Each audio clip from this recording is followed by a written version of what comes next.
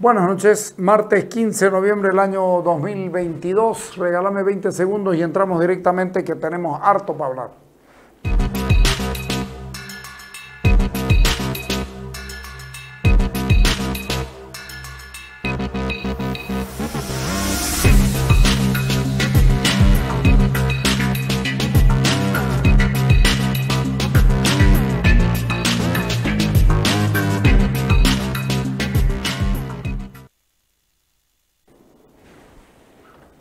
Ingrato hablar de lo que voy a hablar porque, porque se califica a la gente, pero no hay manera de hacerlo de otra manera, de otra forma en todo caso, para no ser redundante. El gobierno está compuesto por canallas. Ustedes lo saben, no, no, esto no es lo, lo grave. Lo grave es que mandaron a doña María Nela Prada hablarnos de muertes, de asesinatos, de violencia de, de, los opositores, de violencia de los que hacían los paros. Es decir, trataron de cubrir lo que habían hecho en, en, Puerto Quijarro, la muerte de ese señor que, que después resultó que no había sido matado por, por por otra cosa que no sea por los gases lacrimógenos. Pero después cargaron, se inventaron muertos, etcétera, etcétera. Y ¿sabes qué? Es terriblemente ruin eso. Ponela doña Marianela, dale. El llamado paro cívico ha generado muerte, ha generado dolor, ha generado violencia, ha generado racismo, ha generado discriminación, ha generado terribles vulneraciones a los derechos humanos, intolerancia, odio, pobreza y hambre. Desde el primer día hubo una víctima fatal que se oponía a este paro, buscando justamente que se garantice su derecho al trabajo.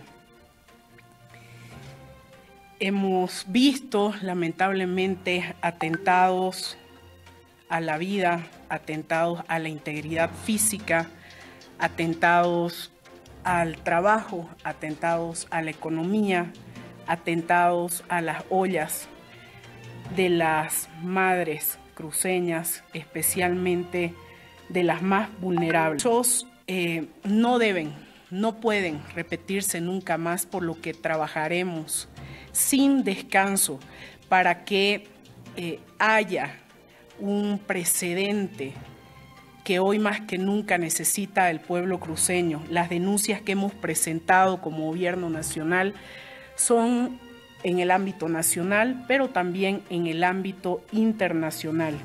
Y las acciones que hemos, hemos, tomado contra varias personas responsables de estos delitos están enmarcadas en la normativa nacional vigente. Por los valores y principios que nos han inculcado nuestras abuelas y abuelos respecto a la paz social y a la convivencia entre diferentes, una vez más y desde aquí digo que el odio no vencerá. Este es más o menos un crono. A ver. Hablaron de muertos, hablaron de la chica violada. ¿Se acuerdan de el canalla Richter, le desgraciaron la vida a esa niña, le sacaron el corazón a este. Bueno, la mentira tiene patas cortas y la canallada, la canallada, porque esto es ser canalla, queda grabada por siempre. El señor Richter, no estamos para chiste, para pa llamarlo por su sobrenombre, que lo acompleja además. El señor Richter es un impostor, se conduele de una violación y ahora quiero ver lo que va a hacer el señor Richter. Primero, con el caso del, del hombre que murió por los gases, ponerlo el hijo del, del señor. Dale. Supuestamente la gente dice que falleció por golpe de la cabeza, pero es mentira. Yo estuve ahí, presente, le di los primeros socorros. Mi padre murió fue por el gas, por el gas, la, granada que lanzaron los policías. En el momento que quiso alzar esa granada, se salió el aire con una presión que se le vino a la cara, se quedó turbado. En ese turbamento se levantó, se quedó turbado y se cayó de espalda. En ningún momento hubo, hubo como dicen las personas, este, Suficiente. Suficiente. En ningún momento hubo un golpe. Digamos que fue la fatalidad, pero producto de los gases que lanzó la policía. Ok, ¿quieres echarle a alguien los muertos? Chupátelo. Chupátelo porque la violencia con la que actúa la policía es proverbial. Lo hemos mostrado hasta el cansancio. Hemos reclamado hasta el cansancio de que, de que la, la policía dé los nombres de las personas, de que la fiscalía actúe, no han actuado. Lamentablemente la gobernación y el comité cívico, más que todo la gobernación debió haber actuado también pidiendo saber quiénes son los tipos esos para que los enjuicien. No, no hicieron nada. Hablaron de una chica violada, una violación grupal en uno de los puntos de bloqueo. ¿Se acuerdan? ¿Se acuerdan?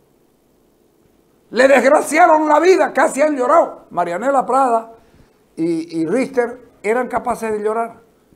Poner la respuesta del, caso. Nos hemos hecho presente acá en la Fiscalía para ver el caso de la joven eh, presuntamente violada que recién han hecho la denuncia. Sin embargo, esta, eh, este hecho ocurrió en un domicilio entre el 24 y 25 del, del mes pasado y la mamá se encontraba de viaje por lo que no sentó la denuncia. Ella llega recién el 7 de noviembre y lo hace. Pero lo que sí está descartado es que fue realizada, esta, la presunta violación fue realizada en un punto de bloqueo. Eh, la presunta violación fue eh, realizada Suficiente. ¿Qué dice señor Richter? ¿Se va a disculpar? ¿Va a aclarar? No coinciden ni las fechas ni el lugar. Y ustedes aseguraron que fue en un punto de bloqueo. Ustedes son canallas aprovechándose de una víctima real. Ah, pongámosla aquí a nuestra víctima política. La política, Camacho, Calvo, ellos fueron. ¿Y ahora qué? ¿Ahora qué? Tendrán la decencia, porque esto es decente. Yo no sé si Richter es decente. Lo conozco a su padre. Y a Marianela la conozco como alguien decente y a su madre la conozco. No pensamos igual, ninguna de esas cosas. Pero es decente para mí. Para, si para otro no es problema del otro, no mío. Pero ahí no hay decencia. Si no salen a, a pedir disculpas, señores, pedimos disculpas.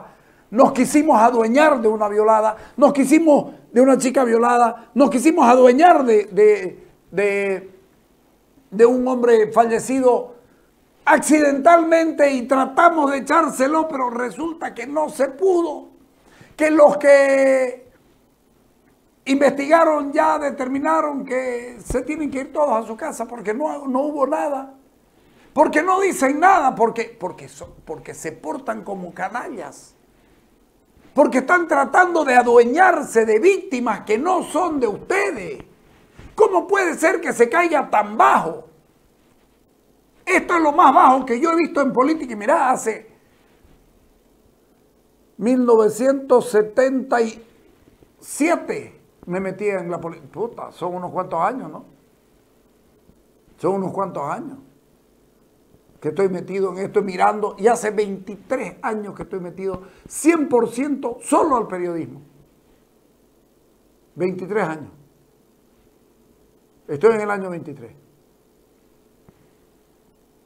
Y pueden explicarnos, ¿sabes qué? Puta, García Mesa no tenía el lenguaje que tienen ustedes. No tenía la manipulación. García Mesa, el hijo de mil putas, a quien el diablo lo debe tener, ojalá lo tenga a fuego lento. Y ustedes son peor que él. Ustedes son peor que él. Canalla, en democracia, este, cuando, cuando más o menos hay un atisbo de que todavía alguien puede salir a decir la verdad, ustedes se mandan con el desparpajo más grande del mundo a mentirle a la, a la población, a acusar muertos propios. Necesitamos muertos propios. Arce tiene un muerto, el de Quijarro. Fue la represión y fueron los gases lacrimógenos los que, mataron a ese hombre. Ok, no me gusta atribuirle a alguien una cosa de esta. Esto debiera ser parte de, de la fatalidad. Pero no puede ser parte de la fatalidad si se lo quisieron adueñar al muerto. Canallas, eso es lo que son. Canallas absolutos. Bueno, pero no terminó ahí. El chico al que le sacaron el corazón, el muchacho al que le sacaron el corazón. Yo, por, por la experiencia de, conocer las cuestiones este, de criminalística, por, por trabajar en temas eh, en el periodismo, uno, uno más o menos se da cuenta. Yo dije, señores, esto no tiene signos políticos y tiene signos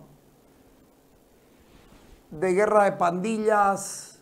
Y no solo eso, pero dije, me llama la atención que no haya, que no haya tatuajes en el cuerpo de este muchacho asesinado cruelmente, pero no descarto que sea un crimen de odio, lo dije yo aquí en este programa, en esta misma mesa, en la mañana y en la noche.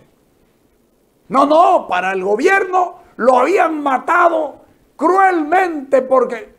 Y además, el tipo había estado, el fallecido había estado en, en el desbloqueo de Palmasola.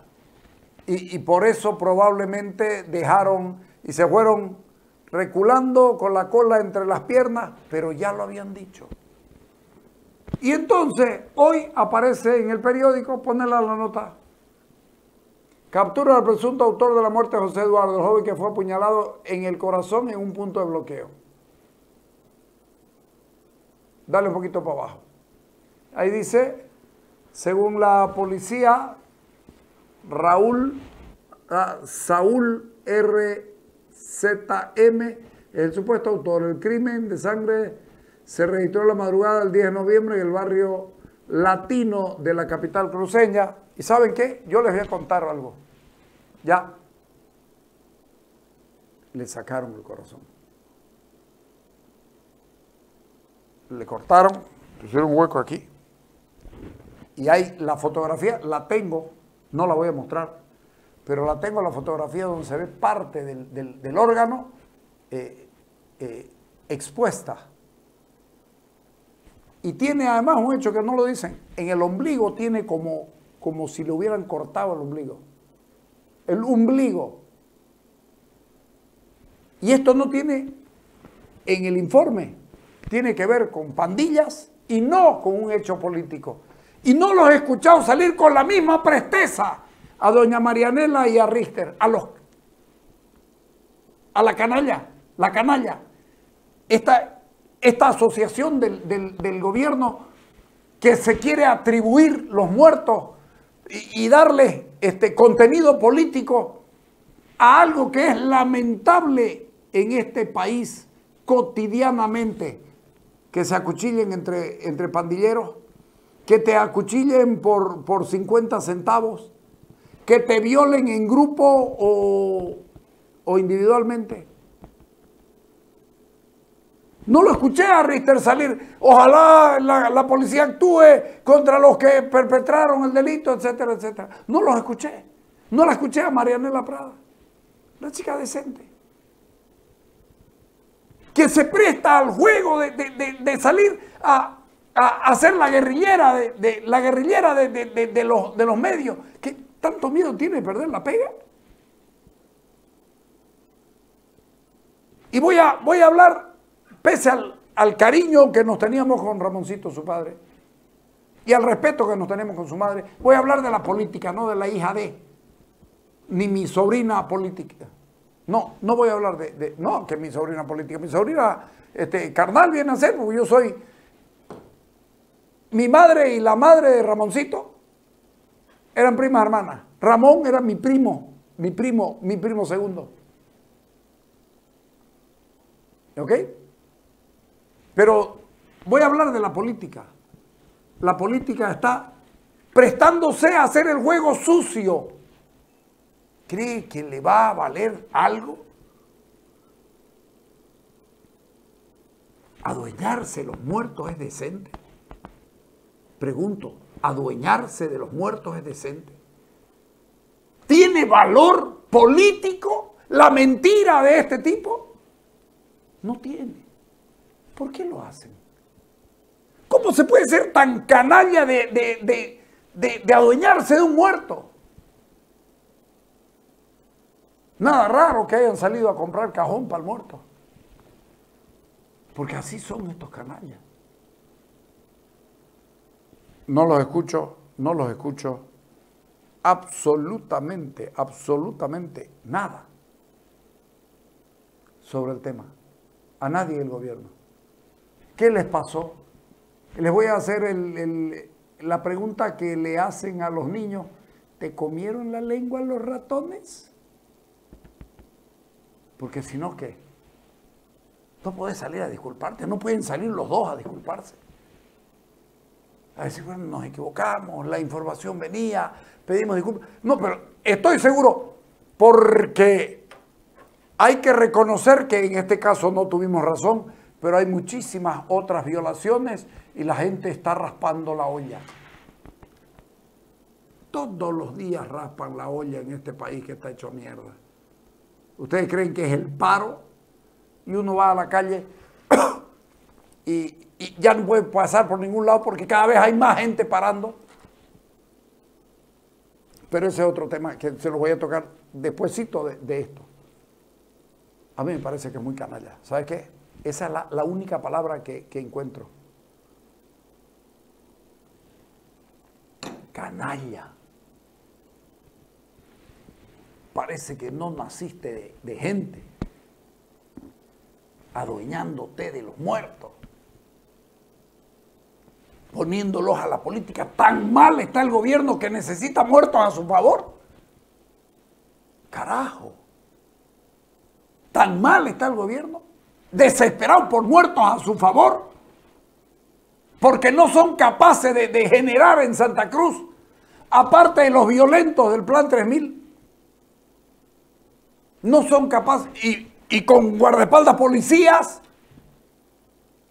y policías que golpean gente, ¿la, la pillaste? Ponela.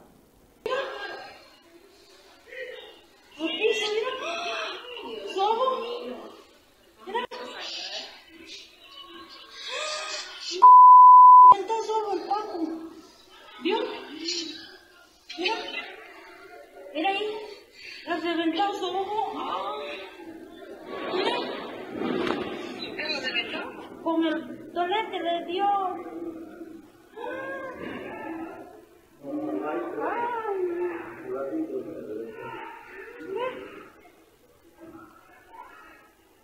Ay, el otro, el otro está desmayado.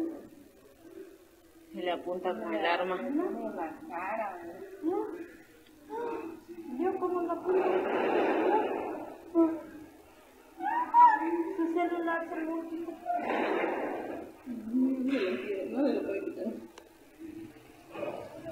Mira. ¿El celular se lo han derecho? Bota tu celular aquí. Hasta que lo bote aquí se lo van a entregar luego. No pueden entrar a propiedad privada. Ajá. Mira. Le va a echar, ¡no! ¡No! ¡No! No grites, no grites, no grites. Y le va a echar en la cara y tiene herida. Mira, ya le gustó. Después viene el otro policía y le da Richter y Marianela Prada, ¿eso no es delito para ustedes? ¿O eso está bien? Porque son nuestros policías, el concepto de nuestros policías, es la policía política que está en la calle. No, es la policía maldita. Es la policía maldita. ¿Quién nos dicen? No los escuché yo hablar de esto. Defensores de los derechos humanos, Marianela Prada. El otro, el otro es un mercenario de la, de la voz, de la palabra. El que lo haya contratado se iba él. El que lo haya contratado se iba. Pero Marianela Prada tiene una, una, una eh, militancia en, en, en, en derechos humanos. Vieron que son canallas.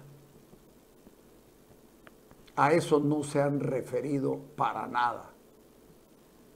Ni con saco ni sin saco. Qué vergüenza. Pobre país de mierda el que tenemos. Vamos al corte.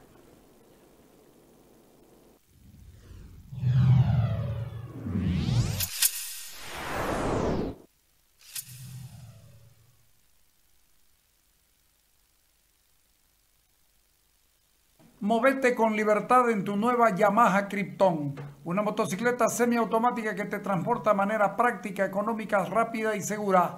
Visítanos en nuestro showroom y llévatela al mejor precio, 2.100 dólares. Además, te ofrecemos el mejor servicio técnico y repuestos originales. Encontrarnos en redes sociales como Yamaha Bolivia o comunicate al Contact Center 817 5200. Yamaha revoluciona tu vida.